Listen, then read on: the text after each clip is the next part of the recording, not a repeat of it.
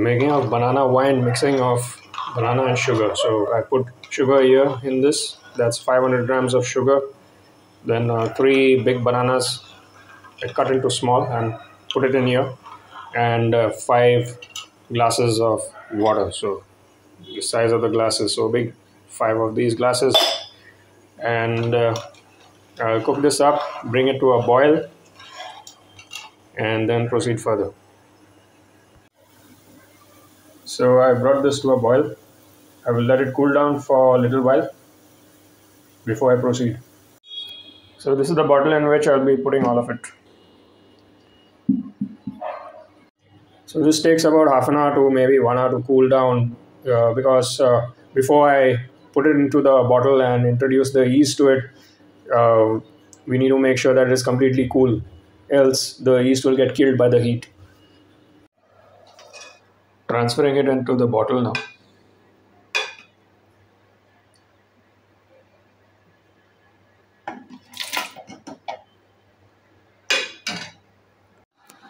All right so it's filled up and all set. Now within a few hours this will start bubbling. One important thing to note is to keep this a bit loose. It should not be tight because when the bubbling starts there's a lot of gas buildup which is going to happen over here and uh, we do not want this to explode. So for that reason we do not tighten this. Just keep it a little bit just keep it a little bit loose so any extra carbon dioxide escapes and there's no pressure buildup inside the bottle.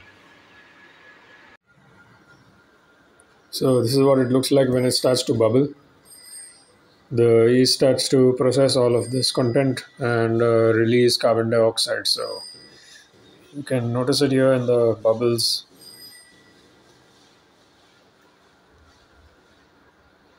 Over here well it's not very clear here. You can see tiny fine fine bubbles.